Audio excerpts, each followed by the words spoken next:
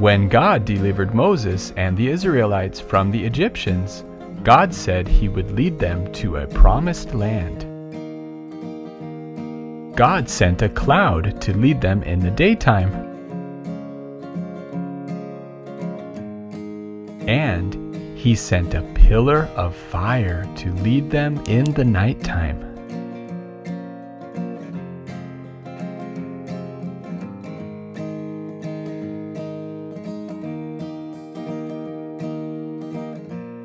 After a while, the Israelites came to the edge of the Red Sea. God told Moses to set up camp there.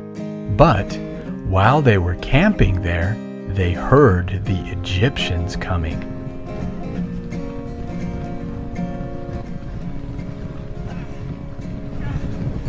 Pharaoh changed his mind. He was chasing the Israelites so they wouldn't get away.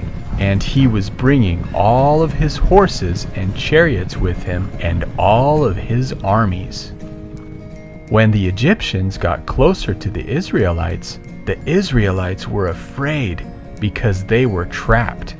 They cried out to Moses and to God and said, Why did you bring us out here if we're just going to die in the wilderness? But Moses said unto the people, Fear ye not, stand still, and see the salvation of the Lord, which he will show to you today. God told Moses to lift up his staff, and to stretch his hand out over the Red Sea, and to divide the waters so that the Israelites could cross the sea on dry ground. A strong wind came and blew the waters back and it divided the sea.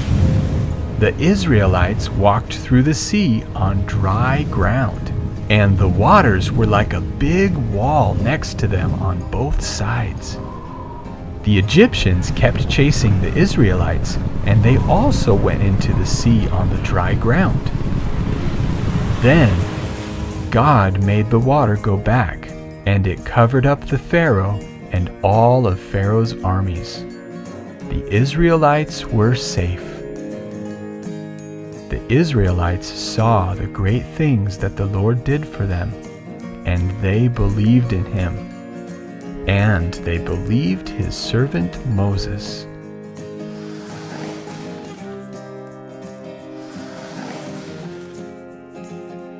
And Moses said unto the people, Fear ye not, stand still and see the salvation of the Lord, which he will show to you today.